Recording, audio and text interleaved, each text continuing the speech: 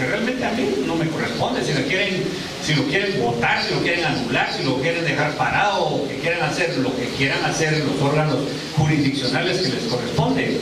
A mí, señor juez, me importaría como guatemalteco personalmente, pero de ahí me viene flojo.